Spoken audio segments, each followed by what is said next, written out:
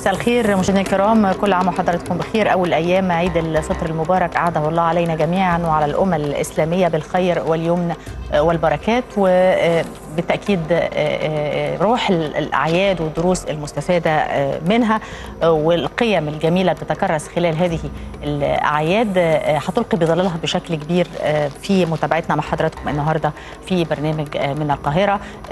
الإنسان بطبيعته هو كائن اجتماعي وبالتأكيد في بعد مجتمعي وتواصلي لممارساتنا بصفة عامة خاصة في الأعياد ويمكن التكنولوجيا بشكل أو بآخر أثرت يعني سلبا أو ايجابا يمكن هنقترب بشكل أكبر من هذا الموضوع على هذا التواصل اللي ابتدى ياخد صفة إلكترونية يعني أكثر منها الطرق التقليدية في التعارف والترابط بين الناس بعضها بعض. لكن صعب إن إحنا ننكر ويبقى هذه القيم موجودة ومتأصلة في مجتمعاتنا الشرقية الإسلامية والعربية من خلال التزاور الترابط الناس بتبقى مع بعضها كالبنيان المرصوص أو بتشبيه آخر أعضاء جسد واحد إذا اشتكى عضو يتداعى له سائر الجسد بالسهر والحمى والتأثر بما يتأثر به الإنسان نفسه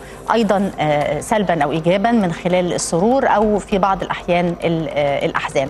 هيكون لنا في حوار حول هذا الموضوع وكيف تتكرس مثل هذه القيم مثل التواصل المحبة، المودة، الرحمة بين الناس خاصة في الأعياد. ومهم جدا إحنا نسترشد بده في الأيام العادية تكون سمة من سماتنا وملمح من تصرفاتنا مش بس في الأعياد لكن في حياتنا العامة.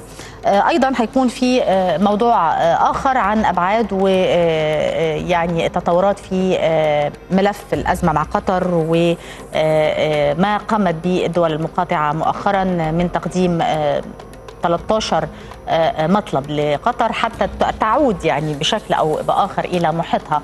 العربي والخليجي وتقدم تطمينات على أرض الواقع بعدم عودتها مرة أخرى للممارسات اللي أثارت تحفظات كان على خلفيتها المقاطعة الدبلوماسية اللي حصلت في وقت سابق، ربما الجديد هو إن الكويت سلمت قطر قائمة بالمطالب المصرية والسعودية والإماراتية والبحرينية وكثيرا من التساؤلات التي تثار حول التعاطي القطري مع هذه التطورات. وأيضا ماذا بعد في حال لم تقدم قطر تطمينات حقيقية أو لم تتعامل بجدية مع هذه المطالبات خاصة إن في تحذيرات إماراتية لقطر بأنها إذا لم تتخذ إجراءات ترقى إلى تطمينات حقيقية على أرض الواقع لدول لها بالتأكيد تحفظات كثيرة على إيواء قطر للإرهاب ودعمها له وأيضا تدخلها السافر في الشؤون الداخلية العربية. بالتأكيد ربما تصل الأمور إلى أبعد من هذه المقاطعة اللي لها بعد دبلوماسي وآخر اقتصادي. بالتأكيد اللي ممكن تصل إلى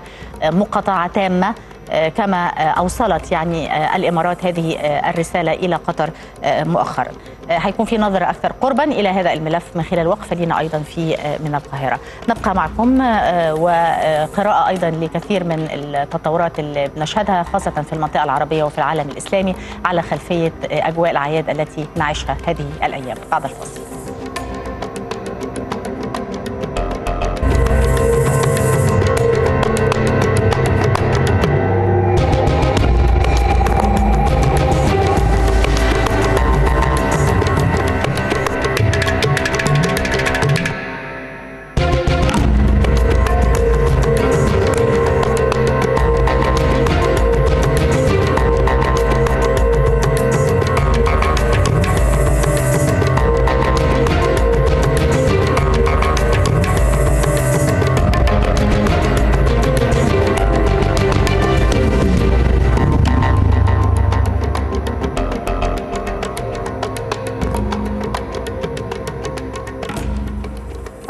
أهلا بحضراتكم من جديد. أدى السيد الرئيس عبد الفتاح السيسي صلاة عيد الفطر المبارك في مسجد محمد كريم بمقر قيادة القوات البحرية بمنطقة رأس التين بالإسكندرية.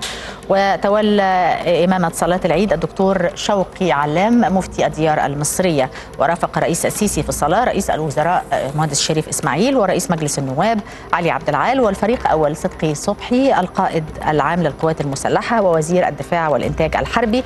وكذلك لفيف من الوزراء وكبار رجال القوات المسلحة. ووجه الرئيس عبد الفتاح السيسي التهنئة للشعب المصري بمناسبة حلول عيد الفطر المبارك ووجه تحية خاصة بهذه المناسبة لأسر شهداء مصر الأبرار. وقال الرئيس السيسي في رسالة وجهها على حسابه الخاص على موقع التواصل الاجتماعي فيسبوك. سنستقبل عيد الفطر المبارك ونحن أمة واحدة قوية تسعى لبناء المستقبل وتوجه بالتهنئة لجموع الشعب المصري بالإضافة إلى تحيته لأسر الشهداء كما أسلفنا وأشاد بالتضحيات التي بذلوها من أجل رفعة الوطن وإعلاء لمصالحه العليا. تبادل الرئيس عبد الفتاح السيسي كذلك التهاني مع أصحاب الجلالة والفخامة والسمو ملوك ورؤساء وأمراء الدول العربية والإسلامية بمناسبة عيد الفطر المبارك ودعا الله تعالى أن يعيدها عليهم وعلى شعوبهم وسائر الشعوب العربية والإسلامية بالخير واليمن والبركات. أجرى الرئيس السيسي اتصالا هاتفيا بخادم الحرمين الشريفين الملك سلمان بن عبد العزيز ال سعود حيث أعرب الرئيس عن خالص تهنئته بمناسبة حلول عيد الفطر متمنيا للشعب وحكومة المملكة العربية السعودية الشقيقة كل الخير والتقدم والرخاء والازدهار تحت قيادة خادم الحرمين الشريفين الملك سلمان بن عبد العزيز. أدى ملايين المواطنين صلاة عيد الفطر المبارك بالساحات التي خصصتها وزارة الأوقاف بمختلف محافظات جمهورية مصر العربية وسط إجراءات أمنية وتنظيمية بالتنسيق مع مختلف الجهات المعنية. وتوافد المصريون على تلك الساحات مكبرين ومهللين باستقبال عيد الفطر داعين الله تعالى أن يتقبل منهم صيامهم ونسكهم في شهر رمضان الكريم حيث حرص الجميع على أداء صلاة العيد في الخلاء تطبيقا لسنة رسول الله صلى الله عليه وسلم. من خلال الساحات المخصصة لذلك أو بالمساجد بالنسبة للنساء فيما تم توزيع الهدايا على الأطفال عقب الصلاة تشجيعا لهم وللتهنئة بالعيد. وبالتأكيد تبادل المصلون التهاني بهذه المناسبة العاطره وشددت خطبة العيد على أهمية صلة الرحم وإخراج الصدقات والعطف على الفقراء. كما أوصى الأئمة المسلمين بالحرص على الاستمرار في الطاعات بعد شهر رمضان الفضيل بالحفاظ على الصلاة والصيام والأمر بالمعروف والنهي عن المنكر والعطف على الفقراء وكذلك المساهمة في بناء وتنمية المجتمع والتحلي بالخلق الكريم حتى ينهض المجتمع ويتقدم. في الأجواء الاحتفالية بالعيد بالتأكيد شهدت المتنزهات والحدائق العامة إقبال كبير من قبل المواطنين في الصباح الباكر وتوافد عدد كبير منهم من فئة الشباب والأطفال تحديدا للاستمتاع بعيد الفطر المبارك والتنزه بالمراكب النيلية. وتوجه الآلاف في محافظة القاهرة إلى حديقة الحيوانات بالجيزة مواصلين فرحتهم واحتفالاتهم بعيد الفطر المبارك. كما شهدت منطقة الأهرامات إقبالا كثيفا من جانب الزائرين وسط أجواء غلبت عليها الفرحة والسعادة. واتخذت الشرطة بالتعاون مع وزارة الآثار والهيئات التابعة كافة الإجراءات الأمنية للحفاظ على سلامة الزائرين والآثار المصرية. في الإسكندرية والساحل الشمالي شهدت الشواطئ والقرى والمنتجعات السياحية بالساحل الشمالي إقبالا كبيرا في أول أيام عيد الفطر المبارك للاستمتاع بالجو والرمال والمياه الساحرة والمناظر الطبيعية الخلابة. بالتأكيد وكثفت الأجهزة الأمنية والصحية والتموينية حملتها على المتنزهات والملاهي والأماكن السياحية والتجمعات لمتابعة الأغذية المعروضة والوقوف كذلك على مدى صلاحيتها. وتم رفع درجة الاستعداد إلى الدرجة القصوى داخل مستشفيات لاستقبال أي حالات تسمم غذائي والوقوف على مصدرها والتأكد من عدم حدوثها بشكل وبائي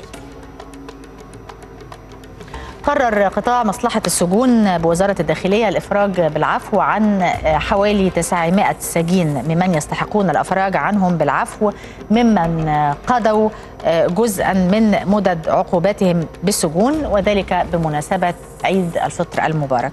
كما شملت قرارات العفو الإفراج عن 98 مسجونا آخرين إفراجا صحيا.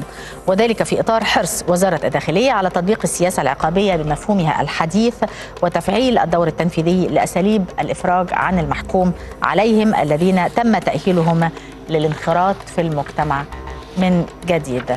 معنا سعادة اللواء فاروق المقراحي مساعد وزير الداخلية الأسبق. تحية لحضرتك سيادة اللواء وكل سنة وحضرتك طيب. أهلا بك يا استاذه ريهام تحياتي ليكي ولأسرة التحرير في القناة.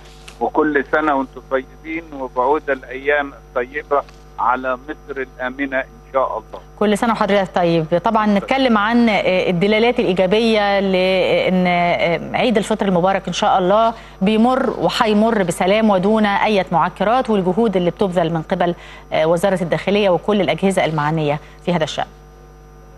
شوفي هو وزارة الداخلية وضعت خطة بدأ تطبيقها من يوم الجمعة الماضي بتشديد الحراسات وتنويع الحراسات حول الأماكن الهامة وأماكن اللي هيخرج فيها المصريين يقضوا الأعياد وعلى دور العبادة من الناحيتين الإسلامية والمسيحية وعملت خطة من الشرطة السرية من إدارة الآداب وإدارة الأحداث وإدارة الشرطة النسائية لمراقبه التصرفات اللي هتصدر من الناس الهايفة أو من الناس الطايشة أو الناس اللي ما بتقدرش المسؤولية أو الناس اللي فاقدة الأخلاق لتطبيق القانون بحزم وشدة عليهم بحيث يقضي الناس عيدهم في المنتزهات والسينمات وأماكن التسوق بخير وسلام. دي شرطة سرية من إدارة الآداب وإدارة الأحداث ومن الشرطة النسائية وإدارة حقوق الإنسان. بشكر حضرتك شكرا جزيلا سعادة اللواء فاروق المقراحي مساعد وزير الداخلية الأسبق وإن شاء الله تكون فترة آمنة ويستمتع الجميع بأجواء العيد ويستطيعوا بكل أمان ان هم يتنزهوا في المتنزهات ويزوروا الأماكن اللي بتعتبر طبعا فرصة ذهبية ليهم خلال إجازة عيد الفطر المبارك. تابع دكتور هشام عرفات وزير النقل حركة خطوط السكة الحديدية ومترو الأنفاق والموانئ البحرية والنقل النهري من خلال تقارير غرفة العمليات والأزمات بالوزارة. كما تم التواصل مع رؤساء الهيئات والجهات التابعة للاطمئنان على سير العمل وتقديم خدمة مميزة للجمهور خلال فترة العيد. وزير النقل ذكر اليوم أن الوزارة تعمل قبل العيد بنحو ثلاث أسابيع بكامل طاقتها ويصل الطلب على النقل إلى ذروته خاصة في الأسبوع الأخير من شهر رمضان المبارك. وأضاف بأنهم تمكنوا من وضع خطة محكمة وتم تنفيذها بالمشاركة مع شرطة النقل والمواصلات لضبط عمل السوق السوداء التي كانت منتشرة في الماضي. وأشار أيضا إلى أنه يتم نقل حوالي 3 ملايين فرد يوميا عبر مترو الأنفاق في الأيام الطبيعية وبالتأكيد بتتكثف المسألة خلال فترة الأعياد. وتشهد محطات مثل عتبة وسط البلد ورمسيس والسادات ضغطا شديدا. ومعنا المزيد من المتابعة يتواصل معنا عبر الهاتف دكتور هشام عرفات وزير النقل. مساء الخير دكتور هشام وكل سنة وحضرتك طيب. وانت بصحة وسلامة فندم. أهلا وسهلا. بالتأكيد بيكون في يعني خصوصية في الإجراءات اللي بتتخذ خاصة خلال فترة الأعياد. يعني نستثمر تواجد حضرتك معنا ونتعرف على المزيد مما بذل ويبذل خلال هذه الأيام من عيد الفطر المبارك. هو حقيقة الأعياد يعني عندنا بتبقى في وزاره النقل إحنا كان عندنا وزارة خدمية يعني بطبيعة الحال. فاحنا شغلنا مستمر بكثافة أكثر يمكن كمان في, في وقت الأعياد. ومش بس وقت الأعياد كمان زي ما حضرتك اشرتي لا ده أسبوع كمان قبل العيد يمكن كمان أكثر من كده كمان أسبوعين قبل العيد عشان نحط الخطة بتاعت بتاعت رجوع جميع أهلنا بالذات إلى الصعيد. لأن الطلب على النقل في الفترة اللي هي ما قبل العيد بتبقى عالية جدا توصل للبيك أو توصل تصل للذروة آه قبل العيد بيومين أو ثلاثة يعني حضرتك لو كنت شفت محطه مصر والجيزة في شهر في يوم الخميس والجمعة آه كنت تجدي نسبة إشغال آه عالية جدا ما بتبقاش طبيعية خالص بالعكس بتصل إلى ضعف أو ضعفين الكباسيتي العادية أو الحجم التداول الطبيعي بالنسبة للمحطات. فالكلام ده كنا لازم نواجهه عشان نعمل التوازن ما بين العرض والطلب. فالتوازن ده هو في فجوه بتبقى موجودة كبيرة جدا. نتيجة إن إحنا الحقيقة الشعب المصري زاد. الله ما شاء- الله يعني يمكن أربع أضعاف خلال كام السنة اللي فاتت. بينما شبكه السكة الحديد هي هياها. ما اتغيرتش. آه. فاحنا طب نواجه الكلام ده إزاي؟ إيه إيه الإجراءات اللي بتتخذ يعني لزيادة الطاقة الاستيعابية معالي الوزير الس- القاعة- الطاقه الاستيعابية بتاعت ال- القطر. عشان آه، تزوديها لازم تقللي حاجة اسمها زمن التقاطر. عشان نقلل زمن التقاطر التقاطر في وجود إشارات ال- ال- العادية اللي هي البين الأكسية اللي عندنا بتبقى في خطورة جامدة جدا على التشغيل. لأن بيبقى في احتمالات الخطأ البشري وارد. آه، غير لما يكون عندي اشارات كهربيه وده بتاخدنا لموضوع تاني خالص اللي هو وجوبه وجوبية آه، تطوير ال ال ال ال الشبكة بتاعت السكه الحديد عندنا باشارات كهربيه. وده يمكن إحنا أعلناها قدام سيادة الرئيس وطرحنا الحلول الكامله بالنسبة لها. طيب دي هتمكننا إن شاء الله لما هنخلص إحنا التصوير ده اللي إحنا نزود القطارات ونقلل زمن التقاطر ما فيش ابدا أي قلق. يعني بمعنى آخر إن الشبكة اللي بتحتاج آه اللي بيمشي فيها 20 قطر في الساعة نقدر نزود فيه مثلا 35 قطر في الساعة. أنت فاهم قصدي حضرتك؟ طيب الكلام ده النهارده نعمله إزاي؟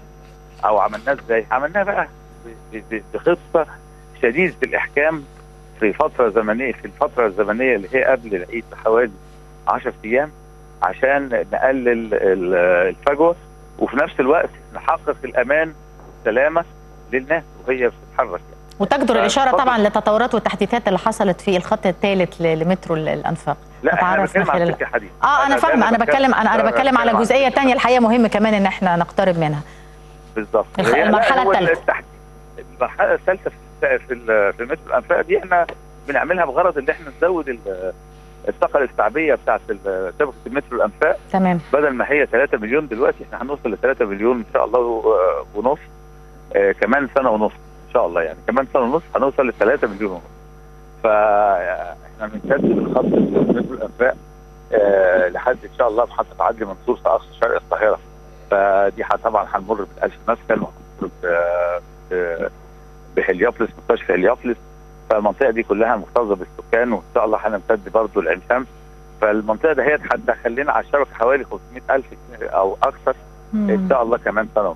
والحقيقة في تطور كبير حصل في ال- في النقل والطرق وملحوظ يعني آه، آه، في ال- الفترة الأخيرة وأيضا تجدر الإشارة إلى ما بذل في آه، منطقة ماسبيرو والله أنا هقول لك حاجة يعني هي شبكه النقل والطرق الطرق بالذات يعني يرجع الفضل فيها مفيش كلام للخطة اللي عملها سيادة الرئيس من 2014 يعني دي دي يعني هي فعلا فعلا ابتدت دلوقتي أثارها تبان كويس قوي. ال- المشروع القومي للطرق. إحنا دلوقتي داخلين إن شاء الله في المرحلة الثالثة المشروع القومي للطرق. والأهم من كده إن إحنا يعني سيادة الرئيس بقى داخل في المشروع القومي لتطوير السكة الحديد فده ده اللي إحنا فيه صادد حاليا دلوقتي. اللي هو هيحل مشاكل كتيرة جدا ويزود الطاقة الاستيعابية زي ما أشرت أنت بالنسبة للسكة الحديد وفي نفس الوقت هنحقق السلامة والأمن إن شاء الله أكثر آه، بكتير جدا عشان راحة أهلنا و... إن شاء الله وكل سنة حاجة. وحضرتك طيب مرة وأنت دكتور هشام عرفت. وزير النقل شكراً. شكرا جزيلا لك على تواصلك معنا يتوقع خبراء الأرصاد الجوية أن يسود غدا الاثنين ثاني أيام عيد الفطر المبارك طقس مائل للحرارة على السواحل الشمالية حار على الوجه البحري والقاهرة حتى شمال الصعيد شديد الحرارة على جنوب الصعيد نهارا لطيف ليلا. وتظهر آه، السحب آه، المنخفضة والمتوسطة على السواحل الشمالية. كما تقل الرؤية في الشبورة المائية صباحا على شمال البلاد والرياح أغلبها شمالية غربية معتدلة تنشط على جنوب سيناء وشمال الصعيد تنشط على خليج السويس مما يؤدي إلى بعض الاضطراب في آه، حركة الملاحة البحرية. معنا آه، آه، أيضا هناك خبر آخر والحقيقة آه، طبعا ال- الكل بالتأكيد بيكون حريص على التعرف على حالة الجو آه، خاصة في الأعياد خاصة بالنسبة للناس اللي ناوية تسافر كمان بتكون عايزة تعرف الحركة على الطرق هتكون عاملة إزاي ومدى خطورة الشبورة وإيه يعني كيف يمكن أن يتوخى قائدو السيارات حذرهم في هذا الشأن. معنا المزيد من المتابعة الدكتور وحيد سعودي خبير الأرصاد الجوية. مساء الخير وكل سنة وحضرتك طيب. بالصحه والسلامه نتعرف من خلال حضرتك يعني المتوقع الحالة الأحوال الجوية تكون عاملة إزاي في اليومين اللي جايين في العيد إن شاء الله؟ هو طبعا خلال ساعات الليل مع غياب أشعة الشمس بتشهد البلاد جو لطيف تقريبا معظم أيام العيد تقريبا من بعد الساعة العاشرة مساء وحتى الساعات الأولى من الصباح. لكن طبعا الجو حر خلال هذه الفترة على القاهرة الوجه البحري. وشديد الحرارة على محافظات الصعيد زي الأقصر وأسوان. تبقى المدن الساحليه المطله على البحر المتوسط. جو مائل للحرارة هناك. طبعا تحذيري من الشبورة المائيه الكثيفة في الصباح الباكر. تقريبا من وقت الفجر لغاية الساعة 8 الصبح على معظم الطرق خاصة القريبه من المسطحات المائية والمزروعات. تخص منها بالذكر المؤدية من وإلى الساحل الشمالي مدن القناه الوجه البحري والقاهرة. يعني المسافرين آه. على الطرق السريعه هيحاولوا يتجنبوا الفترة اللي حضرتك آه بتتكلم فيها دي 8 7 آه طبعا. حضرتك. وطبعا يمكن الأجواء بصفة عامة تسمح بالخروج بالمتنزهات والحدائق العامة والاستمتاع بكل شواطئنا سواء المطله على البحر الأحمر أو المتوسط. في ظل اجواء يعني مستقرة تماما بالنسبة لحالة الطقس. بالنسبة لدرجات الحرارة يا فندم. السواحل الشمالية من 30 ل 32 درجة القاهرة والوجه البحري حتى شمال الصعيد عند الفيوم بني سويف من اسيوط من 37 إلى 39 درجة مئوية. ترتفع نسبيا بطبيعة الحال على أقصى جنوب الصعيد سوهاج الأقصر واسوان من 41 ل 43 درجة بشكر حضرتك شكرا جزيلا. العفو. نرجع تاني للقيم اللي بتتكرس من خلال الأعياد التسامح نبذ العنف نشر القيم اللي بتتميز بها ديانتنا الإسلامية السامحة واستفادة أيضا من كثير ربما من التجارب اللي مرينا بيها في الفترة الماضية وبالتأكيد ده هيقطع الطريق على أي ما يثار عن أعراض طائفية أو عن ممكن بعض التهم المتبادلة وحاجات بالتأكيد هي مستحدثة على ثوابتنا وعلى قيمنا وعاداتنا وتقاليدنا. وقفة حوارية أولى نتحدث من خلالها عن المزيد حول هذه القيم وأصداء الأجواء الاحتفالية في الأعياد تحديدا في عيد الفطر المبارك. كل عام وحضراتكم بخير بعد هذا الفصل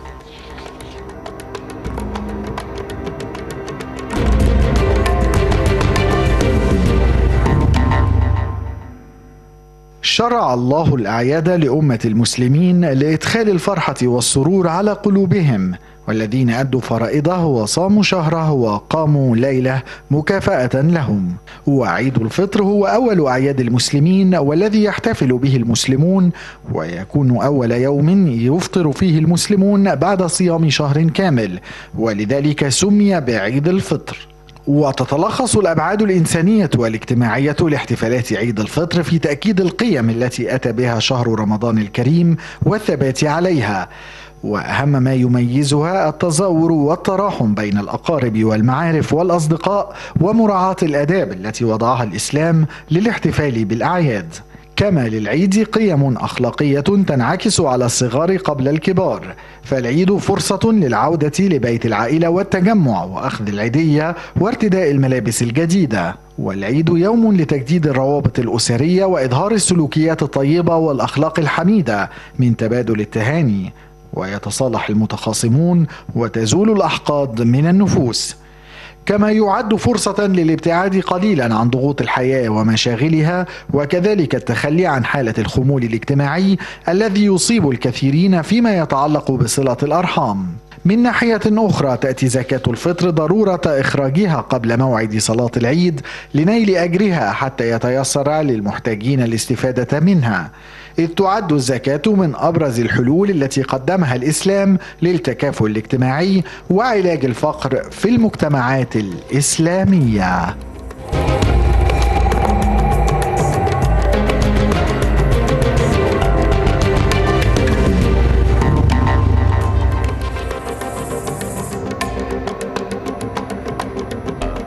أهلا بحضراتكم من جديد الحقيقة كمان غير القيم آه، الإيجابية اللي تتعمق خلال آه، الأعياد بيكون آه، في آه، عادات وتقاليد مترسخة وبتكون مرتبطة ب- بأعياد في بعض القواسم المشترك بين الأعياد كلها وفي أعياد بتكون ليها خصوصية. يعني لو هناخد على سبيل المثال عيد الفطر المبارك ال- الكحك والغريبة والبسكويت والحاجات دي طبعا دي مميزة جدا.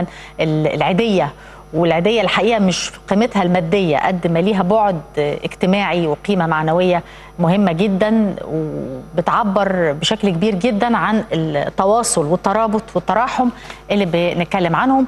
ممكن ناخدها مدخل للحوار آه، اللي هنبتديه مع حضراتكم دلوقتي آه، عن ال- الأبعاد الاجتماعية للأعياد. ومعايا الدكتور رشاد أحمد عبد اللطيف أستاذ تنظيم المجتمع ونائب رئيس جامعة حلوان سابقا. أهلا بحضرتك وكل سنة وحضرتك طيب دكتور. كل. سنة وأنت طيبة وكل المصريين بخير وكل العرب بخير. يا سنة رب. طيبين. دايما إن شاء الله. الله يبارك آه، بنتكلم عن القيم. آه، هي موجودة طبعا ومهم جدا تكون عندنا دايما لكن بيسلط عليها الضوء. بتبقى الناس حريصة على التمسك بيها بشكل أكبر. آه، خلال آه، الأعياد والأجواء الروحانية اللي بتكون موجودة سواء في شهر رمضان المبارك أو في آه، الأعياد بصفة عامة وبيكون في طقوس معينة بنعتاد عليها آه، بنعملها خلاص بدون تفكير آه، خلال آه، ال- الأيام اللي بيكون ليها يعني دلالات خاصة يعني إذا أيوة. صح التوصيف لو هنتكلم عن آه، عيد الفطر المبارك أهم حاجة ممكن نتكلم عنها إيه آه، بالإشارة طبعا لموضوع العيدية اللي ابتديت آه، بيه حوارنا طبعا. سيادتك أشرت نقطتين مهمين قوي في عيد الفطر. حتة العيدية وحتة الكعك والبسكويت والحاجات من دي. ونضيف لهم حتة ثالثة اللي هي حتة التلاحم الاجتماعي. جميل. يعني آه، أنا وأنا صغير كان أول حاجة بتيجي في مخي اللبس الجديد. والعيدية اللي بديها لأبويا أو أو الناس اللي قرايبنا اللي بيجوا في أول يوم العيد. وإحنا صغيرين كنا نزاحم أنا وإخواتي مين اللي هياخد عيدية أكتر؟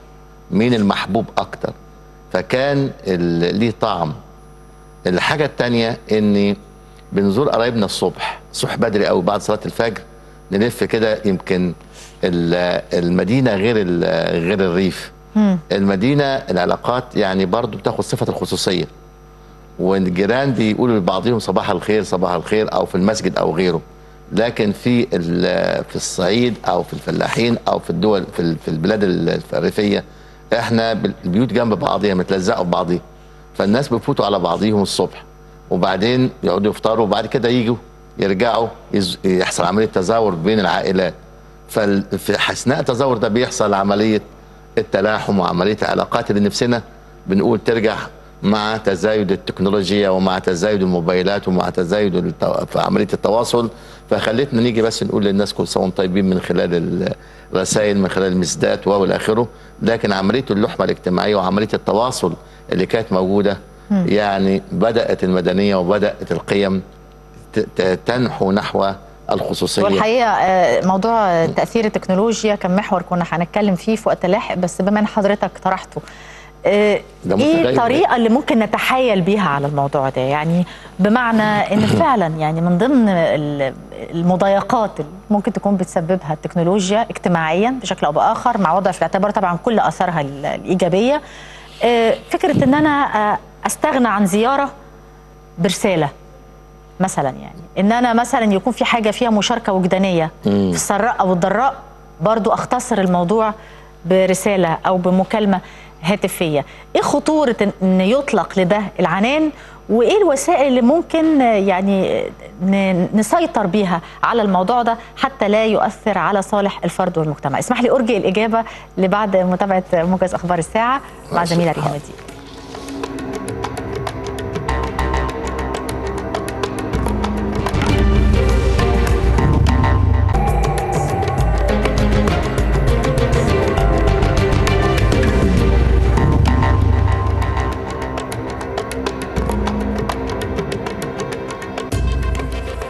ممكن نعيش في هذا العصر التكنولوجيا المتوازنة بمعنى إن إحنا آه، نحقق الفوائد وفي نفس الوقت نحجم من الأضرار. الحقيقة سؤال يبدو سهل لكن في واقع الأمر هو ليس بهذا القدر من آه، اليسر.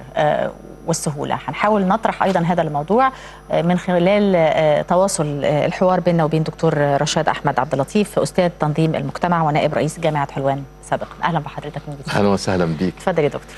أنا اولا عايز أشكرك الأول على السؤال لأنك أنت غ- يعني صغتيه بطريقة ذكية قوي شكرا يا وكنت و- يعني أنا وأنا بتكلم الكلام يعني أنا برمي كده إجابة لقيتك خدت طلعت يعني صنعت منها موضوع.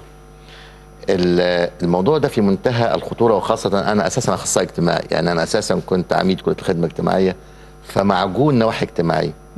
ويمكن إحنا كبشر أو ك يعني لما تيجي تسالي يمكن لو جبت واحد مهندس غيري أو واحد يعني في وظيفة تانية ممكن كان يجاوبك إجابة تانية مختلفة أو يديك أبعاد تانية للموضوع ده.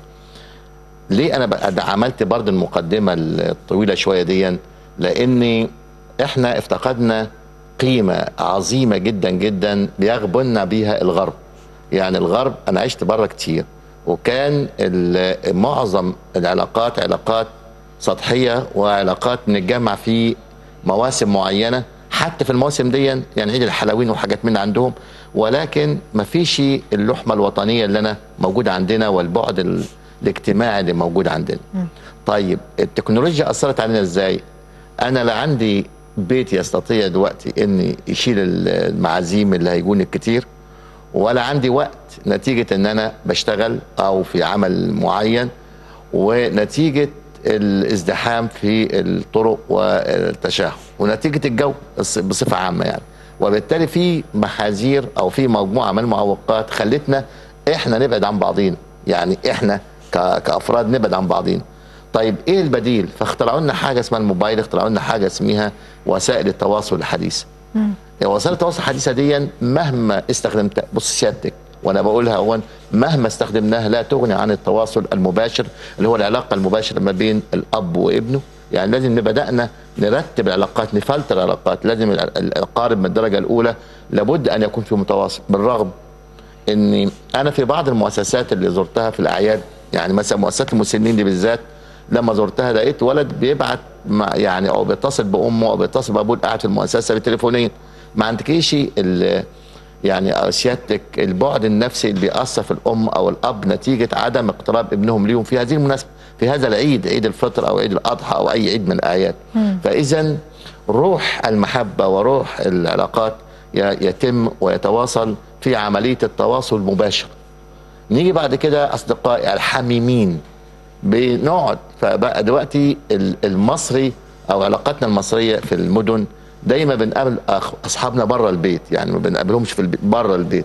فالقهوة موجوده فبرضه بلاقي برضه وسائل التواصل خدت شكل مختلف عن الشكل الموجود. أنا ما بجيب علاقات قرايبي معارفي في بيتي وأحتفل بيهم اقتصاديا أقل آه، يعني اجتماعيا فيها صلة تراحم وتواصل صحيح. وفيها لقاء مباشر. آه، اجتماعيا فيها ان أنا أقدر أحكي بحريتي وأنا قاعد في مع صاحبي مع بي في بيته. لكن الظروف اللي إحنا اتوجدنا فيها والعالم المتغير شديد الحركة إحنا دلوقتي شديد الحركة أدى إلى ما نحن فيه. من عدم التواصل المباشر وإلى سيادة السؤال اللي سيادتك قلتيه السهل الممتنع إن لابد أن نستخدم التواصل الاجتماعي سواء أردنا أم لم نرد نتيجة الظروف اللي إحنا عايشينها ونتيجة العادات اللي إحنا بدأنا نكتسبها من الغرب اللي كان بي يعني بيقول بصوا أنتوا كعرب عندكم الأب والأم بيحتضنوكم بيعلموكم لغاية ما تتخرجوا من الجامعة. يعني أنا لسيادتك أنا حضرت حاجة زي كده يعني أنا كنت قاعد مرة في الهايد بارك في في إنجلترا وجاني واحد قال لي أنت منين؟ قلت له أنا من مصر قال لي أنتوا عندكم حاجتين مهمين قلت له قال عندكم you believe your God يعني أنتوا بتؤمنوا بربنا وعندكم ال good relations أو العلاقات الكويسة أو أو أنا متهيألي لو قابلت الراجل ده دلوقتي مش هيقول لي ال- الكلمتين الجمال دول اللي هم طيب إحنا عشان 20 ما. نحملش برضه التكنولوجيا المسؤولية الوحيدة يعني هي بتسهم بالتأكيد في تراجع في آه. العلاقات الاجتماعية لكن البعض بيقول إن في أسباب تانية يعني في ضغوطات الحياة آه أيوه. الأعباء الاقتصادية آه وإن كانت على العكس يعني الأعباء الاقتصادية مش لازم دايما آه، تبقى حائل يعني بمعنى زي ما حضرتك حتى قلت يعني إن ده في توفير بشكل أو بآخر يعني أنا لو لو رحت مثلا أكلت بره في عيد آه. غير لو اتجمعنا كلنا على مائدة واحدة. واحد. مش لازم حد واحد اللي يعزم. يعني إحنا عندنا موضوع الديش بارتي ده جميل جدا. يعني إن كل أسرة تجيب حاجة ودي فيها الشكل. التكافلي والتضامني اللي إحنا يعني لا برضه الديش بارتي دي إحنا على فكرة آه، دي ثقافة مش بتاعتنا. دي ثقافة نقلناها. ليه؟ إن كل واحد يجيب الطبق بتاعه وده يأكل الناس اللي موجودين.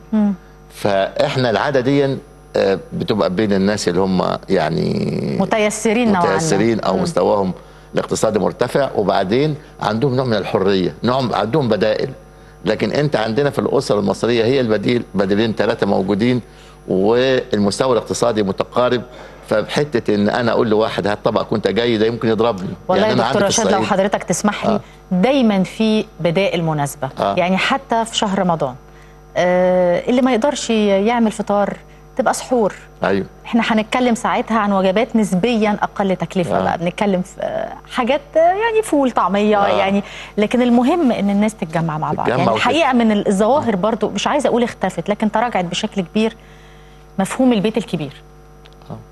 إن إحنا نتلم عند الجد أو الجدة. حضرتك بترجع ده لإيه؟ وهل الوقت فات؟ ولا ممكن نرجع لا، تاني نرجع. نستحضر لا، هذه لا، الروح ده- الإيجابية؟ لا أنا بقول سيادتك الخير فيه وفي أمتي إلى يوم الدين. ده كلام من الرسول صلى الله عليه عليه وسلم. الصلاة والسلام. ومعنى كده إن أنا كل ما. يعني بقعد أحيانا بفكر بنفس ال...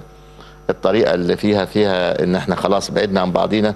بلاقي حاجة معينة آه، تحصل تقربنا من بقى. يعني ألاقي نفسي أقول لأ إحنا ما زال فينا خير. وما زالت الأسرة المصرية من الأسر ال- الجميلة ال- اللي هي يعني آه، الفجوات بينها مش كبيرة. و- وإذا حتى يعني السادة المستمعين قالوا لا ده أنت راجل بتحلم أقول لهم لا ده أنا بقول لكم إن اللي أنتوا بتشوفوه ده قشور.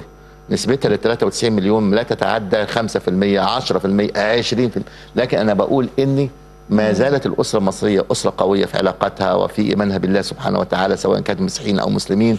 وكلنا مترابطين بدليل الأحداث اللي مرينا بيها دي كلها صحيح. وما زلنا الحمد لله آه، العلاقات موجودة الشخصية المصرية الشخصية. تبقى آه. يعني حتى دايما في توصيف كده إن حتى لو جه. شوية تراب آه بينفض ال- التراب ده في المواقف اللي بتحتاج إن يكون في وقفة بجد وشفنا ده في تجارب آه، يعني عديدة في آه، لفظ آه، تنظيمات إرهابية إن هي تكون يا. هي اللي ليها ال- السطوة يعني أو ان هي تكون ليها ال- ال- قيادة مسار الأمور السياسية بيتم استهجانها أيوة. من قبل الغالبية العظمى. ده جزء جزء تاني في التجربة الإيجابية اللي آه، عملت شكل حضاري جميل جدا التضامن اللي حصل في آه، آه، مشروع قناة السويس آه طبعا. ويعني السواعد المصرية ده يعني اللي اسهمت في وصول آه. آه. المشروع إلى ما هو عليه. وغيره وغيره. وده يخليني بقى في المقابل اتكلم مع حضرتك قدام الإيجابيات دي. إزاي نتسلح بها للقضاء على السلبيات للقضاء على الأمراض الاجتماعية بالغة الخطورة في هذا العصر. بنشوف في آه، آه، تخوين تخويف آه، إرهاب الفكر تربص تشكيك في ثوابت أو في حاجات بتقول إن إحنا بنتقدم لأمام نبص نلاقي إن في رؤى متشككة من البعض. النعرات اللي بتطلع سواء كانت نعرات طائفية أو غيرها. وغيره سيادتك. طرحتي موضوعات عاملة زي الأسئلة اللي بتجيني أنا حط لي بدائل بدائل بدائل بدائل بس حطت لي حاجات كتير قوي. أنا بقول لسيادتك هرجع للبيت الكبير اللي سيادتك بدأت بيه. اتفضل. البيت الكبير لما قيمة الكبير ضاعت سنه الجد اللي إحنا كنا لما نقف وكان حد مننا بيدخن سيجارة يروح حاططها في جيبه لغاية ما تحرق جيبه وتنزل من الناحية الثانية لما ضاعت الهيبة الكبير بدأت الأسرة تتفسخ والعلاقات بتاعتها تتفكك. لكن ما زالت هناك بعض العائلات وبعض وخصوصا في الريف وخصوصا في الصعيد وخصوصا في القبائل الموجودة في الصحراء لسه ما زالت القبيلة قابضة بإيديها وقوية ودي ممكن حتة جميلة جدا نقدر نستغلها في إن إحنا نواجه أي خلايا واي تخوينات وأي شيء لأن بنقل من خلالها. الحاجة الثانية سيادتك بت بت بتسيري ليها اللي هي حتة الفجوة اللي حصلت ما بين ال- يعني بين أفراد المجتمع نتيجة التغيرات اللي حصلت يعني قناة السويس والحاجات الجميلة اللي حصلت دي هي ناقصة حاجت- حاجتين. الحاجة الوحيدة الحاجة الأولانية ان أنا أعلن عن منجزاتي زي ما حصل في رمضان. كنت عجبني أول إعلانات اللي تقول لك إن يعني آدي إنجازاتنا هي آدي قانون الاستثمار. الناس عاوزة تعرف الدنيا فيها إيه. فأنا لما أبقى واضح في عرضي للحقائق ما أخبيش حاجة بتخلي الناس على وعي وعلى اتصال ودي خبرات مرينا بيها زمان قوي قوي يعني لما زمان أو وقف عبد الناصر وقال إن إحنا تعبانين وإحنا مش عارف إيه وإحنا إيه وقفنا وراه أنا من الجيل أصل من الجيل القديم شوية من سيادتك من الجيل بتاع ال- اليومين دول. لكن أنا من الجيل القديم من عاصرة عبد الناصر وعاصرة السادات ومبارك وهو لغاية دلوقتي هو إن الحمد لله موجودين. فأنا بقول لحضرتك ان كل ما يكون فيه وضوح يعني آه، ال- الوضوح اقرا يعني لما بيعرفوا بيقول لك إيه أقصر الطرق؟ قال لك ال- الاستقامة. طيب يعني المسطرة خطين واضحين أنا واضح فيهم. فبالتالي القيادة بتبقى قوية حينما يكون في هناك وضوح وهناك المعلومات بسيطة وهناك آه، اختيار جيد للقيادات المحافظين الوزراء المستشارين لأن هم دول بيغرقوا أو ينجحوا يعني أنا ممكن أنا أنا وأنا رئيس جامعه كان اللي حواليا كنت أختار القوي. ليه؟ لأن القوي هيق- يك- يكبرني وي- وينشطني. الضعيف هياخدني معاه وينزل بيا لتحت. فكل ما كانت القيادات قوية وواعية وعندها إيمان ببلدها أنا متهيألي إحنا إحنا اللي وقفنا الخمس تاريخ ال 5000 سنة ده إن إحنا آه يعني فينا خير وفينا آه نوازع خير وال وال والمخربين والمرتشين ناس قليلين يعني. وبنشكر الرقابه الاداريه طبعا دلوقتي شغالة كويس قوي لكن أنا بقول لحضرتك إن كل ما تكون المعلومات واضحة كل ما يكون الخط مباشر بين الرئيس وبين ال- أو بين المحافظ أو بين العميد أو بين رئيس الجامعة أو بين رئيس الجامعة وبين ال- الناس ال- اللي تابعين ليه كل ما تكون ال- الدنيا جميلة بالتأكيد. و... طيب أنا وبتمشي. عندي الحقيقة برضو موضوعين مهمين جدا مش عايزة أفوت فرصة تواجد حضرتك معانا وأتكلم فيهم بشكل أكبر اولا ثقافة الاختلاف وما الذي ينقصنا في هذه الثقافة وتاني حاجة سهولة الانقياد اللي بيكون لدى البعض وده اللي بيخليه للأسف آه، يعني آه، عجينة طيعة لمن يواجهه ربما توجيها آه، خاطئا إما بسبب جهل إما بسبب ضيق ذات اليد أو ضعف في الشخصية أو ضعف في الإيمان. يعني من خلال بقى حضرتك نتعرف على خلينا- نبتدي الأول بثقافة الاختلاف. خلينا ناخد ثقافة الاختلاف. اتفضل. أنا أنا بختلف معاك ليه؟ إن لما بتوع القانون كويسين جدا. لما كنت بتكلم معاهم يقول لك إيه قول لي أساس الموضوع إيه. فأساس الموضوع لما بيضيع بيبدأ الاختلاف. لما تكون الحقيقة أو الموضوع بيتناقش فيه أنت عندك موضوع وجزء منه غايب وأنا عندي موضوع في جزء منه غايب دي بتبدأ الاختلاف. حتى مم. بين الزوجين لما الزوج بيكون مش متربي كويس وبيكون ما عندوش معلومات عن الأسرة كويس بتحصل مشاكل بعد الجواز. ليه؟ لأنه ما عندوش المعلومات القوية اللي بتخليه يقود. الزوج الثاني اللي هو عنده المعلومات يعني مثقف والى اخره ويعرف الاختلاف شكله إيه ولما مراته تزعل في إزاي يطبطب عليها ولما تكون يعني آه، شديدة وعنيفة إزاي. يعني الحاجات دي كلها. نفس اللي بيحصل في الأسرة ده لو نقلناه للمجتمع بنلاقي المجتمع هو هو. أنا دلوقتي بيقول لي إن مصر آه، أنا بقول مصر مكملة. واحدة يقول لي لأ مصر نازلة على تحت. أقول له لأ. ونبدأ نتطاحن في الأفكار. فاذا في معلومة غايبة. نقص المعلومات بيبقى سبب في وجود اختلاف في وجهات النظر. الحاجة الثانية مفيش مصدر واحد للمعلومة. يعني أنا عاوز دلوقتي أنا وأنت مختلفين في موضوع. طب عايزين ناخد موضوع. لو في الناحيه الاجتماعيه أقول لك تعالي لي جري أروح مديك المعلومات هتحل المشكلة. لكن في بعض الموضوعات الموضوع ده خطير جدا. آه. الحقيقة حضرتك اتكلمت فيه ده. لأن للأسف كثيرا آه، لا تؤخذ المعلومة من مصادرها الرسمية خاصة في ظل الثورة المعلوماتية والتكنولوجية اللي إحنا فيها دلوقتي. ناس كتير بتحتكم لمواقع التواصل الاجتماعي وما إلى ذلك أيوة، وكتير طبعا آه. بتفتقر إلى المصداقية أنا أقول لسيادتك أهو إن سيادتك ادي نقطتين نقطه إن مفيش معلومات ونقطة مفيش مرجعية. طب الحاجة الثالثه في إيه؟ الحاجة الثالثه في وسائل إعلام بتضخ معلومات غلط. يعني لما تنشر حاجات عن المجتمع فابريكا بقى لها 10 سنين 12 سنة 50 سنة. وبعدين الشباب الصغير لأن الشباب الصغير إحنا عندنا شباب جميل. يعني شوفيه أيام ماتشات الكوره شوفيه أيام تشجيع يعني الحاجة الوطنية. بتلاقيه ماسك كده يعني يعني قوي. أنا أنا بشوف عينيه بقول الله ده إحنا لسه ما زلنا في خير. لكن لما هذا الشباب يغرر بيه نتيجه معلومات غلط نتيجة واحد بيحبوه نجم كورة بيحبوه ولا أستاذ بيحبوه وهذا الأستاذ يعني نيته من جوه مش كويسة. هياخد الناس دي وينزل بيها هياخدها وينزل بيها لكن لو ما ده بقى يجيبنا للموضوع التاني. آه. آه، إيه إيه التربة الخصبة اللي تخلي شخص ما يب- يبقى سهل الانقياد؟ لم ي... الت- التنشئة الاجتماعية. لم يجد أب وأم يسألوه في يوم من الأيام يا ابني أخبارك إيه؟ أنت بتشوف إيه؟ يبصوا على الورق بتاعه يبصوا على الكراسي بتاعته يبصوا على الكتب بتاعته. مم. مش بتجسسه. أنا دايما بسميها العلاقة اللصيقة. العلاقة الذكية العلاقة اللي فيها ذكاء اجتماعي. لما أنا بيكون عندي ذكاء اجتماعي بيبقى عندي الحاسة السادسة سريعة سريعة استجابة لابني لما ألاقيه وشه متغير. ممكن يكون بيتعاطى مخدرات وأنا مش واخد بالي واللي بيدوه مخدرات دول هياخدوه في حتة تانية. ممكن يكون منضم لتنظيم وأنا مش واخد بالي ولو ما خدش بالي ياخدوه بطريقة تانية. اذا البداية بتبدأ من البيت بتبدأ من عندنا. أبص على أولادي وأنا بقول لحضرتك الكلام ده هو لأني يعني من يعني من ضمن الأشياء اللي أنا لاحظتها وأنا وأنا بدرس يعني للطلبة ألاقي طلبة مست- منظرهم مش كويس وبعدين أبص ألاقيهم في مظاهرة وبتاع بعد كده فأجي انده لهم فهم ألاقي معظمهم من أرياف ومن أسر فقيرة جدا جدا وبعدت جبت أولياء أمورهم. ولي الأمر مش عارف. طيب ناس تانية تقول لا ده عارفين وهم بيعيشك آه في نسبة عارفة ونسبتها قد إيه؟ إحنا شعب دين بطبعه. والدين بتاعنا دين معتدل مش دين هي دي تشدد هي دي الحقيقة لا. وإحنا حتى كل ال- يعني العارفين بعلم المجتمع وبالاجتماعيات طبعا حضرتك من أبلغ من يحدثنا عن الموضوع ده بقدر ما آه، الانطواء غير مرغوب.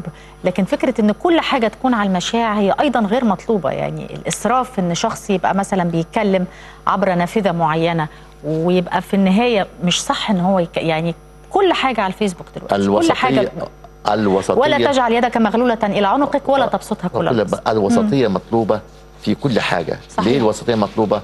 لأن ال- آه، سواء كان في الكلام أو في حتى في لبسنا حتى في شكلنا حتى في علاقاتنا الراجل اللي عنده علاقات كتير جدا جدا جدا جدا تلاقيه مزحوم بوقته والى اخره اللي ما صحيح. تلاقوه واحد تاني منطوي جدا جدا جدا. لا العلاقات اللي فيها وسط كيفية الانتقاء وكيفية الجلسة وكيفية الحديث كل دي أمور يعني ربنا سبحانه وتعالى بيطالبنا فيها بالاعتداء ما طالبناش. فيها بالزحمة وال اذا التوازن مطلوب يعني في الحقيقة في مطلوب. كل ممارسات حياتنا أنا بشكر حضرتك شكرا جزيلا دكتور رشاد عبد اللطيف كل الشكر شرفتنا. وكل سنة وحضرتك كل. الشكر ليك كل سنة وأنت طيب مستمرين مع حضراتكم مشاهدينا الكرام ووقفة حوارية أخرى العنوان تسليم الكويت لقطر قائمة بمطالب مصر والسعودية والإمارات والبحرين والسؤال ماذا بعد؟ بالتأكيد ينطوي على الكثير من التفاصيل نحاول أن نلم بها قدر ما يسمح الوقت في وقفتنا الحوارية القادمة ولكن بعد هذا الفاصل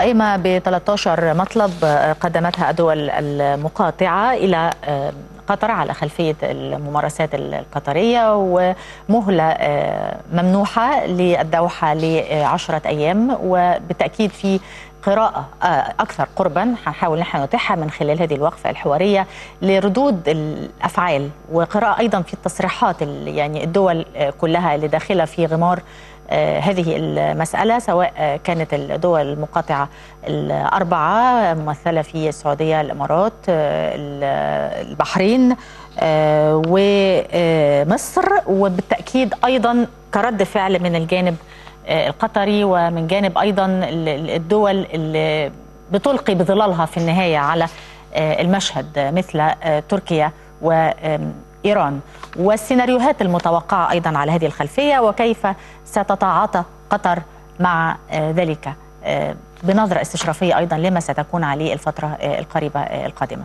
بوجه تحية إلى ضيفي الدكتور خالد رفعت صالح رئيس مركز طيبة للدراسات السياسية. أهلا بحضرتك. أهلا بيك يا كل فندم. سنة وحضرتك طيب في البداية السلام عليكم كل المشاهدين طيبين.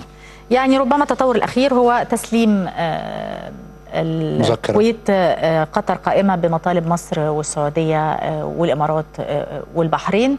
وفي طبعا كثير مما يثار حول هذا الموضوع. وفي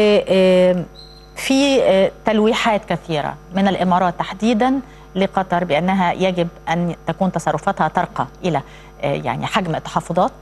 من الدول الأربع على الممارسات القطرية داعمة للإرهاب والمتدخلة بشكل سافر في الشؤون الداخلية العربية. وأنها تأخذ المسألة على محمل الجد وإلا سيكون هناك يعني ما يمكن أن يوصف بالقطيعة التامة اللي بالتأكيد هيندرج تحتها يعني كثير من العقوبات والإجراءات اللي هتتخذها الدول المقاطعة. أخذ تعقيب سريع الأول في البداية. أقول لحضرتك حاجة. آه تعالى نتفق بداية أن البنود اللي وردت في المذكرة دي ل 13 بند آه هي أقصى ما يمكن طلبه.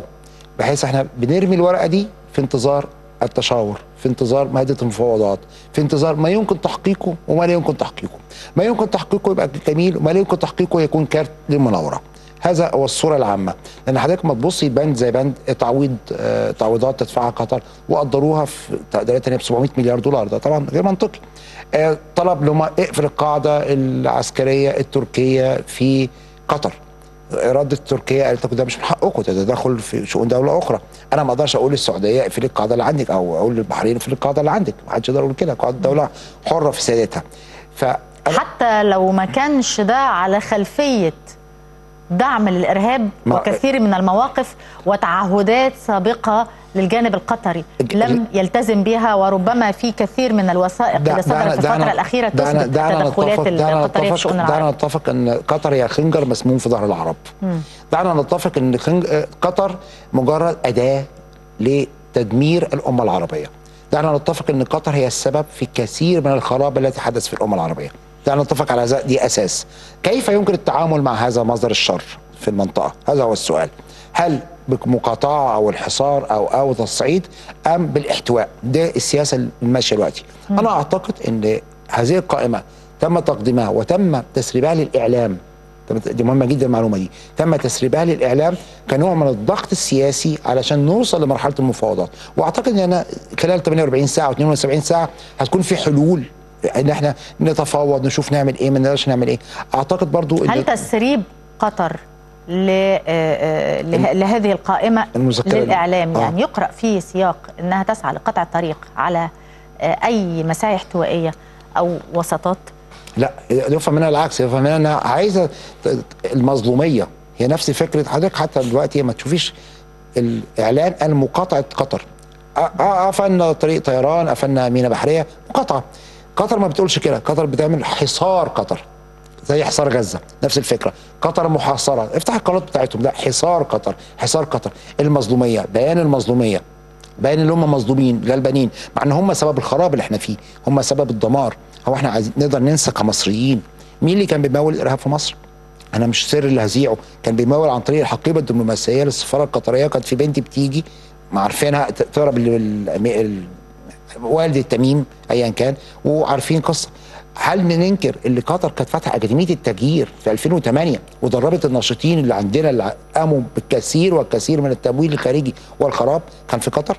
هل ننسى؟ طيب ما قوة الحجة دي آه، يعني هتخلي برضو قد يقول بقى، قائل يعني رغم كل إن الخراب ممكن ده- يبقى في بيان إعلامي مضاد المفروض. بالممارسات القطرية المفروض. ماذا تفعل قطر في, في اليمن ماذا في عشر تفعل. قطر هل ننسى في قطر دي- مصر في, في, في كثير من هل الملفات ننسى إن أي حد في مصر مجرم وهارب ومدان وثبت عليه الجريمه وصدر ضده حكم يهرب إلى قطر؟ تبعت لهم سلموه. وفي اتفاقية بينك وبين قطر تسليم مجرمين. غير انجلترا قصة ثانية لكن في معاهده معاهده حقيقية بينك وبين قطر تسليم المجرمين وترفض قطر بحجة إنه مضطهد سياسيا ما هذا؟ هل ننسى إن قطر فاتحه قنواتها ليل نهار لتشويه مصر؟ هل ننسى إن الجارديان اللي هي صحيفة قطرية بتاعت قطر شريعة قاعدة تشويه في مصر؟ هل ننسى أيام أحداث 25 يناير اللي قطر كتبت على على قناة الجزيرة بتاعتهم دي معا لاسقاط مصر معا لاسقاط مصر؟ هل ننسى الكلام ده كله؟ إحنا عارفين ما هي قطر لكن أعتقد إن أسلوب التعامل في هذا الوقت آه يأتي عن طريق الضغط المباشر اللي هو معمول دلوقتي مقاطعة و و و ودي مهما كان في الآخر هتتعب الاقتصاد يعني أفهم من حضرتك يا دكتور خالد إن حضرتك متحفظ على آه، طريقة عرض المطالب والتوقيت؟ لا، أنا مش ولكن بالتأكيد ال- الحجه أنا- لا, أنا مش خلاف عليها عنها، أنا- إن ربما يعني طال وقت السكوت يعني. يعني طال وطال وطال ولقد بلغ السيل الزبى. خلاص يعني ما عادش حد يستحمل على ممارسات قطر أكتر من كده. لكن ما أرى من هذا هذه المذكرة انها كارت كارت بيترمى لتحقيق مطالب أو إحنا بنوصل لسياسة حافة الهاوية عشان نوصل بعد كده إلى التفاوض وحل compromise حل توافقي يرضي الجميع. لأن واضح دلوقتي إن في لاعب كبير. حضرتك اتكلمت عن اللاعب التركي واللاعب الإيراني. لما نتحدث عن اللاعب الأمريكي. وهذا هو اللاعب الأساسي في اللعبة كلها الأمريكي. ماذا فعلت قطر في آخر آه 48 ساعة؟ عقدت صفقة طيارات اف 15 ب 72 مليار. رقم اثنين عقدت راح تشتري 10% من شركة آه طيران أمريكية شهيرة مش هقول اسمها بمليارات برضو الكلام ده في آخر 24 ساعة بس. فقطر بدأت ترمي على أمريكا. ماذا يريد ترامب من المنطقة ترامب قال الدول دي بقرة نحلبها فان جف ضرعها ذبحناها. عايز فلوس. طب قطر بتعمل إيه دلوقتي؟ راحت ترمي على اللاعب الأمريكي في واحد اثنين ثلاثة أربعة فعايزة تخفف الضغط عنها بهذه الطريقة. أنا أرى زي ما حضرتك كلمتي عن تركيا. طبعا ده يتنافى مع آه، آه، ما ورد على آه، لسان دونالد ترامب تجاه المواقف القطرية. الداعمه للإرهاب ترامب بيلعب على وربما. ما ألمح ليه ان هو اللي يعني اللي اعطى الضوء الأخضر يعني لهذه ال- المقاطعة. وكتب بعد كده تويته إن ما لكن ده ينفعش مش غريب نحاسب قطر هو نفسه. كتب بعد كده ده تويته مش ما ينفعش غريب عن مبادئ حاكمة لسياسات كثير من الدول اللي في بعض الأحيان ما تفصل بين السياسة والاقتصاد. يعني ممكن يكون في طرفين آه، ما فيش توافق في الرؤى إزاء كثير من القضايا السياسية لكن ده لا يمنع التحالفات آه، الاقتصادية. ده دعنا نقول حاجة. الخلاف في المنطقة خلاف أساسي هو خلاف بدأ إزاي؟ خلاف بدأ بين تميم ومحمد بن زايد. بدايه القصة كلها. بدايه قصة تصريحات السفير والتسريبات و الكلام ده من شهر. وثم تصاعدت القصة عندما حس الكل إن هذه الد- الدويلة تتآمر على الكل. تتآمر على قلب نظام الحكم في البحرين وسمعنا الفيديوهين تتآمر على على اغتيال الملك عبد الله وسمعنا الفيديو بتاع قذافي. تتآمر على إحداث قلائل في قطر وسمعنا التسريب بتاع رجل المخابرات القطري في الإمارات. ده تسجيلات محدش يقدر ينكرها. وطبعا مش محتاجين نقول على تامرها في مصر وماذا تفعله في مصر. فهذه الدويلة تتآمر على الشعوب وتتآمر على الحكام في في نفس الوقت. فحان الوقت أن نقول لها كفى. لكن للأسف هناك الطرف الأمريكي يستغل هذه الفرصة ويلعب على الأضداد ويلعب على الخلافات. ليخرج بأكبر مكاسب اقتصادية اللي حضرتك قلت عليها. الطرف الأمريكي لا يهمه سوى الاقتصاد، لا يهمه أي صراعات تكون في المنطقة، يهمه الاقتصاد لأن هو عنده مشكلة كبيرة في الديون، الدين الداخلي عنده رهيب كان 12 تريليون فعايز تريليون من المنطقة دي هيجيبهم من المنطقة دي. وفي نفس الوقت هناك اثنين لاعبين براجماتيين لأقصى درجة الأتراك والإيرانيين. الأتراك يستغلون الفرصة بكل غرابة يعني هو عنده قاعدة آه، في قطر وفاتح طياراته لقطر وبيصدر كميات تصدير رهيبة لقطر الأيام دي وبيكسب منها فلوس. ويروح في نفس الوقت السعودية يقول لهم أعمل لكم قاعدة عندكم وأعمل لكم اتفاقيه اتفاق وأعمل لكم وأعمل لكم وأعمل لكم. بيلعب على الطرفين. نفس الكلام بالنسبة لإيران. إيران بعتت قوات من الحرس الثوري يحمي تميم. زي الفل. وهتاخد فلوس من ظهر ذلك. وفتحت أسواقها وفتحت موانيها وفتحت مجالها الجوي للطيارات عشان الطيارات معلش عارفه توصل من عن طريق البحرين أو عن طريق السعودية. فبتلف عن طريق المجال الجوي الإيراني. ده طبعا ده بفلوس. طيب ده بفلوس. وفي نفس الوقت بتتكلم إن تميم ما عملش وما عملش وما عملش وما عملش. في نفس فبتستعطب أمريكا. ف بقت عملية براجماتيه كيف تحصد أكبر قدر من المكاسب باستجلال الخلافات طيب, طيب البينيه دكتور خالد ما هو يعني حقيقة في سؤال تبادر لذهني وكتير ممكن يسألوه لنفسهم. دي مش أول آه، سابقة للتباعد الخليجي مع قطر. يعني حصل آه، قبل كده من سنة. من آه من آه، سنة وأكثر من. سنة قليلا و...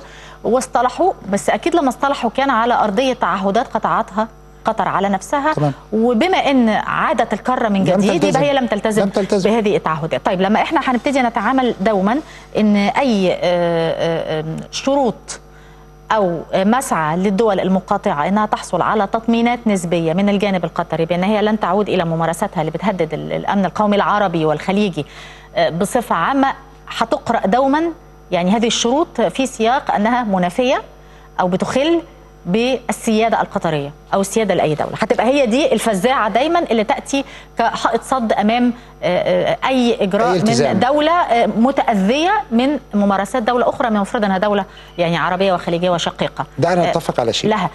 يعني ما الآلية؟ ما المنحى الذي يجب أن نفرق بين قطر والنظام الحاكم في قطر. قطر كدولة لا أرى مشكلة مع قطر الدولة وكالشعب الدولة كشعب. لكن النظام الحاكم في قطر لا أرى أبدا ولا أتوقع أي التزام بأي شروط ولا أتوقع أن يغير مساره في اللي هو اختاره لنفسه أن يكون هذا آه، جرح غائر في الأمة العربية. حضرتك أقول لك حاجة يعني بص لها كده. كل الجماعات المتمردة في الوطن العربي اللي بتعمل مشاكل من يدعمها؟ من يدعم الحوثيين في اليمن؟ من يدعم على حدودنا في ليبيا؟ الجماعات الإخوانية المتطرفة. من يدعم حماس في غزة؟ من ي... يعني حضرتك أي حد من يدعم آه، داعش؟ من يدعم القاعدة في العراق وسوريا؟ من يدعم أي جماعة تثير القلائل والمشاكل في الوطن العربي؟ قطر. من يتآمر على الحكام؟ قطر. هذا واقع. فقطر النظام خلينا نحدد كلامنا أكتر. النظام الحاكم في قطر يجب أنا مش طبعا لا أدعو لتغيير ال- النظم لأن ده شأن داخلي لكن يجب يا تحجيمه تماما يا تغييره يعني لأن أنا لا أرى وغير متفائل النظام الحاكم مش بتكلم عن تميم بتكلم عن تميم بتكلم عن أبوه الاثنين امتداد حاجة واحدة نظرية واحدة. وزير خارجيته حمد اللي قبل كده كان هو برضه نفس القصة. فأنت النظام الحاكم الدائرة المقفولة الحاكمة في قطر هي من تسبب كل هذه المشاكل. وعندما آه، كان المشكلة عندنا في مصر كان الناس مش مصدقة. بتقول إحنا بنعمل خلافات شخصية. عندما آه، اكتوى الخليج بنار المؤامرات بالذات البحرين والإمارات وبدأ يتكلم على السعودية واغتيال الملوك واغتيال الكلام ده. بدأ الصورة وضحت قدام الخليج. لا قطر يا جماعة ما ينفعش تقعد أكتر من كده. أنا أتوقع تصاعد في الأمور. أتوقع آه، ده توقع شخصي إن قطر هتخرج من آه، مجموعة الخليج بالكامل على الأقل هتتجمد عضويتها.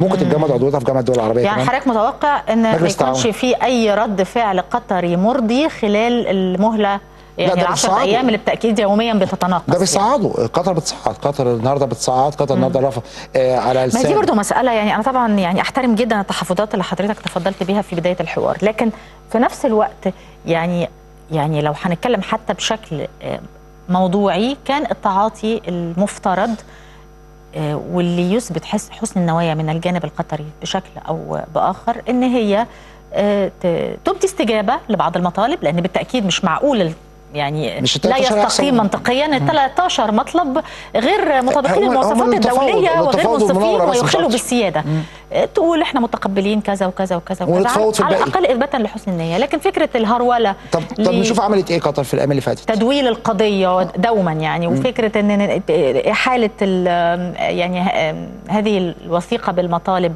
إلى الإعلام وما إلى ذلك يعني هو يضرب بعرض الحائط يعني آه، أي مسعى إن في فعلا رغبة في الاحتواء آه، أقول من لحضرتك هم عملوا إيه؟ أو تطمين الدول يعني. هم ما عملوش كده هم عملوا إجراءات احترازية للتصعيد. بمعنى إيه؟ عندهم شركة قطر للاستثمار اللي هو بنك الاستثمار الأساسي اللي بيدير أموال قطر في الخارج بيشتري فيها دي كانت معمولين شركة مؤسسة شركة شيء ميم ميم الشركة دي يمكن الحجز على أموالها. اما البارح بس طلعوا قرار أميري تحويل الشركة دي إلى أموال الدولة. فكل الممتلكات بتاعتها والاستثمارات في الخارج بقى ملك دولة قطر. يبقى أنا لما أجي أحجز عليها كأمريكا أو كأوروبا أو كسعودية أو مصر ما أقدرش أحجز عليها. أحجز عليها لأن دي أموال دولة. أحجز عليها بقرار أممي يطلع من الأمم المتحدة. يعني حضرتك تشوف التصعيد. يعني ده إجراء احترازي قطر بدات تتخذه حولت الاستثمارات اللي باسم شركاتها في الخارج إلى أموال الدولة. عشان. أنا كدولة أي دولة ما تقدرش تحجز عليها. لازم قرار أممي. رقم واحد. رقم اثنين وصلت كتيبة تانية من تركيا البارح لقطر. بقى عنده كتيبتين كتيبة كاملة وصلت البارح. رقم ثلاثة النهارده عملوا اتفاقية وقعوها مع آه، من أبو شهر الإيراني لتسهيل التجارة ووصول المنتجات خلال 72 ساعة. ده التصعيد اللي بتعمله قطر. قطر مش ماشية في اتجاه المذكرة والكلام ده. هل تركيا وإيران ممكن يغنوا قطر عن محيطها؟ لا الخليجي والعربي. قطر بتلعب على اللعب مش بس. سياسيا الحقيقة دكتور خالد يعني. أنا. بتكلم كمان على الكلفة الاقتصادية. يعني آه، آه، أكيد قطر تواجه آه، مازقا اقتصاديا على خلفية ال- المقاطعة. طب أقول لحضرتك حاجة. آه، الاخيره إحنا بنتكلم طيران نتكلم عن دول جوار تقاطعها بالتأكيد مسألة ليست بالسهلة. الريال القطري وصل إلى أدنى مستوياته في الأيام الأخيرة. طب يعني دولة صرفت 100 مليار دولار على دعم الإرهاب ودعم الحركات الإرهابية وعمل حروب ملهاش أي لازمة وشراء أسلحة ملهاش أي لازمة. هيهمها مقاطعة؟ ده هذا الرجل مش بيفكر في مجدرات شعبه هذا الرجل مش بيفكر في تدمير دولته خالص هو يهمه يستمر الحكم يستمر في الطريق اللي هو ماشي فيه ومش مدرك تماما داخل الخراب اللي ال- وراه في خراب وراه أروقة الحكم القطرية نفسها يعني ألا ما هو ده كنا سمعنا. في بداية الأزمة في إن م- في كتبوا اتجاه كلام. لإعادة النظر في السياسات القطرية وتغيير الوجوه وما إلى ذلك هل بما أن ما فيش حاجة اتخذت يعني خلاص الموضوع شفت حضرتك الإجراءات اللي اتعملت في اخر 48 ساعة بتقول إيه؟ اتجاه تصعيدي اتجاه تصعيدي بحت هو آه، تميم أو رهان النظام الحاكم في قطر على على عم سام على أمريكا بيراهنوا على على عم سام. هو بيراهن ان عم سام هياخد قرشين أو تسهيلات أو استثمارات أو أو أو فهيخفف الضغط عنه. هو ده الرهان القطري في الوقت الحالي. وفي نفس الوقت عقبال ما تجتاز الأزمة دي محتاج له أسبوعين ثلاثة شهر شهرين يعتمد فيهم على إيران وتركيا عشان يعدي الأزمة. يعني ده حليف تكتيكي سريع في سبيل الحليف الاستراتيجي بتاعه ينقذه في آخر المطاف. ده تفكيره. هو عايز يصمت في نفس الوقت شغل الآلة الإعلامية بتاعته بالمظلومية حصار ومش حصار وقطر و وشوية الصور اللي بيصورها والكلام ده. ده أعلى مستوى دخل في العالم. هيتحصر إيه يعني؟ ده دولة عدد سكان السكان الحقيقيين الم- المواطنين 300 ألف واحد. هتحصل مين؟ وعنده تاني أكبر غاز في العالم. يعني دولة غنية جدا. ما تجيش تكلمها عن حصار. ده أنت ممكن تستورد كل حاجة الدنيا بالطيارات ومش هتتأثرش أساسا. الحقيقة ما فيش حد يختلف على المطلب الخاص بوقف تحريض الإعلام القطري. ده كارثة. يعني لو يعني ده في حد ذاته يعني كثير من الممارسات وليس تجاه دولة واحدة يعني. إيه النكته اللي بتضحكني لما يجي يقول لك ده تدخل في شؤون الداخلية لقطر ما اسمحش بيها. أمال أنت بتعمل إيه بقالك سبع سنين أو ثمان سنين في الدول الثانية انت كنت فاتح قناة الجزيرة مباشر مصر ليه؟ ده انت ما عندكش الجزيرة مباشر دوحة.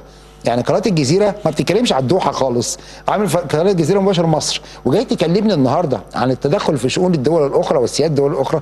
ده انت ما كنتش بتعمل حاجة بقالك سبع سنين غير انك تتدخل في الدول الأخرى وتدعم كل من يعارض في الأخرى- مش يعارض معارضة لا كل من يحمل السلاح ويدمر الدول.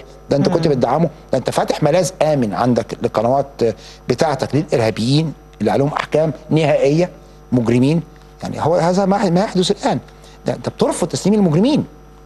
وبعدين تيجي تكلمني عن السيادة ومش السيادة والحقوق. طب هذا كلام غير منطقي.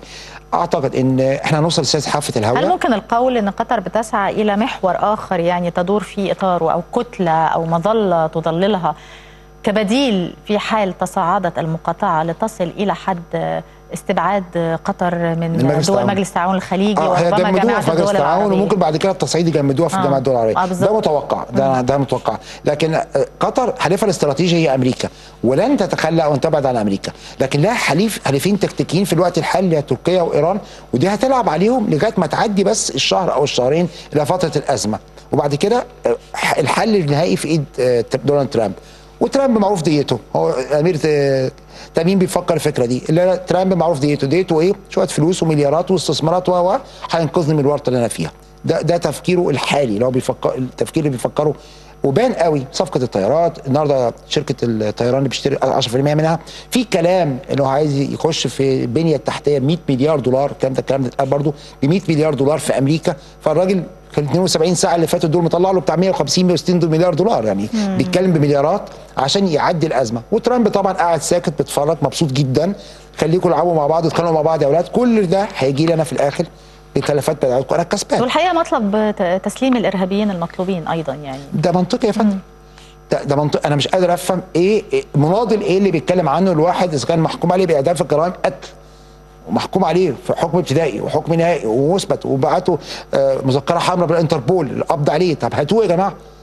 يقول لك لا ده راجل مناضل. مناضل السياسي إيه اللي بتتكلم عنه راجل مجرم. راجل معترف إنه مجرم. يعني بيتكلم مش بنتكلم عن واحد أو اثنين أو ثلاثة أو عشرة. عشرات الإرهابيين اللي هربوا من مصر لقطر وهتحتضنهم قطر. هذا شيء هل. يقتصر الدور الأمريكي آه، على الاستفادة؟ يعني آه، من هذه الأزمة من كافة الجوانب الاستفادة الاقتصادية أم يمكن أن آه، يعني تلعب الولايات المتحدة بشكل أو بآخر دور الوسيط للضغط على قطر للموافقة على مطالب أو أو يعني نسبة كبيرة من مطالب الدول المقاطعة لها كل المختلفين حلفاء أمريكا. محدش فيهم اللي عنده علاقة ضد أمريكا أو عداوة مع أمريكا. فكل أمريكا مش عايزة تخسر حد منهم. كلهم حلفائها الدول الخليجية بالكامل حلفاء أمريكا بالكامل. وأمريكا لها قواعد عسكرية في كل الدول الخليجية. يعني دي حاجة كلنا عارفينها. لما لهاش قواعد لها تسهيلات. في الحالتين في أمريكا. مش عايز تخسر حد منهم خالص. لأن هم الخط الدفاع الأول من إيران وراء الهند وراء الصين وراء روسيا. فالمنطقة دي حساسة جدا بالنسبة لها للحفاظ على النفط والموقع الاستراتيجي. أمريكا مش هتخسر حد منهم. لكن أمريكا هتستفيد من الخلاف بينهم بلعبة الأضداد. اللي أنا اقعد اجج الخلافات بين الأضداد عشان يلجأوا لي حتى أنفذ المخطط الاستراتيجي بتاعي. ما ننكرش إن الشرق الأوسط الكبير أو الشرق الأوسط الجديد أو زي ما تسميه تلقى ضربة قاصمه في 30 6 لما الثورة بتاعتنا في مصر نجحت قدرنا نوقف المخطط بالكامل. لكن المخطط بيعاد النهارده احيائه مرة أخرى عن طريق خلافات اضداد في المنطقة. خلافات في العراق. النهارده بيتكلموا عن الاكراد عايزين يعملوا دولة في العراق. مين اللي بيسلح الاكراد دول؟ سلاح أمريكا. ومين اللي بيسلح الجيش العراقي؟ برضو أمريكا. في سوريا. مين اللي بيصلح آه، جيش آه، سوريا الديمقراطية؟ أمريكا. وفي نفس الوقت مين اللي بيغمض عينيه عن داعش وصنع داعش؟ برضو أمريكا. نفس الكلام في الخليج. أمريكا هتلاقيها في قطر وهتلاقيها برضه في الإمارات هتلاقيها برضه في السعودية. هي اللي بتسلح ده وهي اللي بتسلح ده. هي اللي بتبيع سلاح لده وهي اللي بتبيع سلاح تركيا آه، لم تقتصر تركيا على إنها نفس آه،. تلقي بظلالها على الأزمة فقط. يعني ابتدت تسعى لتظهر آه، بشكل أكبر في المشهد. شفنا التصريحات الأخيرة للرئيس التركي رجب طيب أردوغان ويعني ربما انتقادات أيضا تركية إلى آه، آه، لائحة ال- المطالب من قبل الدول المقاطعة بأنها يعني تخالف ال- القانون الدولي وفي ذات الوقت هي يعني آه، تمس ب- آه، ب- يعني بقيمة وهيبة آه، تركيا. حضرتك رأيك أبعاد يعني هذه النبرة التركية التي يعني زاد علوها في الفترة الاخيره أبص- وممكن نبتدي نسمع إن يبتدي يبقى في بشكل من الأشكال تصعيد دبلوماسي أيضا مع آه، تركيا. يعني لو تصدرت المشهد بشكل أكبر من ذلك ويعني وزادت حدة آه، التصريحات التركية. في نظريه اسمها نظريه الفراغ بتاع جونسون. بت... المنطقة بتاعتنا شهدت ثلاث أوقات فراغ. بعد الحرب العالمية الأولى بعد خروج الدولة العثمانية اللي كانت مسيطرة بقى في فراغ في المنطقة. ما فيش قوة متحكمة في المنطقة. دخلت إنجلترا وفرنسا في الوقت ده. بعد الحرب العالمية الثانية بعد ما إنجلترا وفرنسا خرجوا دخلت أمريكا والاتحاد السوفيتي في المنطقة. دلوقتي في فراغ الثالث في المنطقة. مين اللي بيحاول يشغل الفراغ ده؟ ثلاث قوى أساسية غير عربية. تركيا إيران إسرائيل. هي اللي بيحاولوا يشغلوا الفراغ في المنطقة ده. في حالة تمدد غير مسبوق لتركيا. ما تشوف تلاقي في قاعدة عسكرية تركية في قطر في قاعدة عسكرية تركية في أريتريا في قوات عسكرية تركية في شمال العراق معشوقة وانت طالعة في قوات عسكرية تركية في شمال سوريا في اتفاقيات دفاع مشترك تركيا مع إسرائيل مع إيران ودلوقتي جاري آه، مفاوضات سلاح كبيرة مع روسيا. فتركيا بتحاول تملى الفراغ. في نفس الوقت إيران بتحاول تملى الفراغ بقوات على الأرض. إيران لها قوات الحشد الشعبي في العراق لها حزب الله في إيران لا في في لبنان لها الحوثيين في اليمن. فبتحاول تملى الفراغ. الوحيدين اللي يقدروا يوقفوا المد الح- الحالي هي مصر والسعودية. تحالف مصر والسعودية. مصر وحدها ما تقدرش والسعودية لوحدها ما تقدرش. لأنك عشان تعملي قوة أو تسميها قوة عظمى سميها زي ما تسميها قوة عظمى يعني إيه؟ يعني لازم يكون عندك قوة عسكرية في نفس الوقت قوة اقتصادية. لو عندك قوة عسكرية بس مش هتكسبي حاجة زي الاتحاد السوفيتي. كان تاني أعظم قوة في العالم وانهار لو عندك قوة اقتصادية بس هتبقى زي اليابان. عندها قوة اقتصادية جبارة بس مش مش قوة عالمية عشان ما عندهاش قوة عسكرية. لازم يبقى عندك الاثنين مع بعض. الدولة الوحيدة اللي في الكون اللي عندها الاثنين مع بعض حاليا هي أمريكا. عشان كده أمريكا مسيطرة على العالم. عشان كده هتلاقي في حلفين جداد طالعين. حلف الصيني روسي الصين بتوفر الاقتصاد وروسيا بتوفر القوه العسكرية والحلف الألماني فرنسي. ألمانيا للاقتصاد وفرنسا العسكرية. طبقي نفس النظرية في المنطقة بتاعتنا. مين اللي عنده القوه العسكرية والقوة الاقتصادية؟ تركيا إيران إسرائيل. مين اللي يقدر يقف قدامهم؟ القوة الاقتصادية السعودية والقوة العسكرية المصرية. في تحالف للقوة العربية والعسكرية المشتركة اللي إحنا بنتكلم فيها بقالنا 100 سنة اللي تقدر توقف الزحف في المنطقة. المنطقة فيها فراغ فراغ رهيب. حضرتك أشرت لإسرائيل. في رايي إن إسرائيل رغم إن قلما ذكر اسمها في هذه الأزمة إلا أن يعني الأصابع الإسرائيلية ليست ببعيدة عنها. يعني ربما تكون يعني. المحرك الأساسي والمستفيد الأكبر منها. إلى أي مدى حضرتك تتفق مع ده أخيرا بلا شك بلا شك إسرائيل المستفيد. هاتي لي دولة بيحصل فيها آه، آه، دولة آمنة النهارده. في دولتين آمنتين داعش عمرها ما ضربتهم. إسرائيل وقطر. ده سؤال جوهري. هو ليه ما فيش عمليات انتحارية في قطر؟ هو ليه ما فيش واحد ضرب واحد بمطوة في قطر؟ هو ليه ما فيش أي إرهاب في قطر؟ اشمعنى قطر؟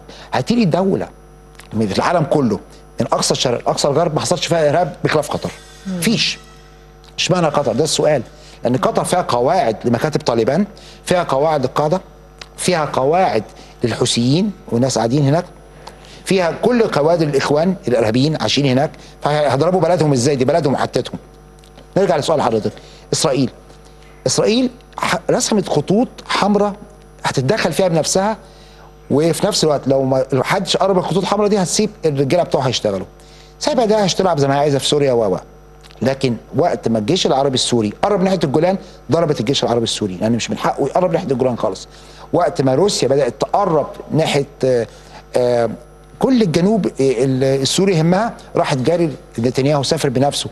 لقابل بوتين ووقع معاه اتفاقية اللي هي اتفاقية التشاور التنسيق بينهم و و فإسرائيل قاعدة خطوة one step backward خطوة ورا وقاعده تراقب الموقف وحاطه ثلاث وأربع خطوط حمر. اللي هيعديها هتدخل بنفسي. ما حدش عداها أنا زي الفل وما بشتكيش. الصورة كده. باختصار المنطقة بيعاد تشكيلها. في فراغ في المنطقة. مصر مدركة الكلام ده كويس جدا. الرئيس السيسي مدرك الكلام ده جدا. والسعودية بدأت تدرك الكلام ده.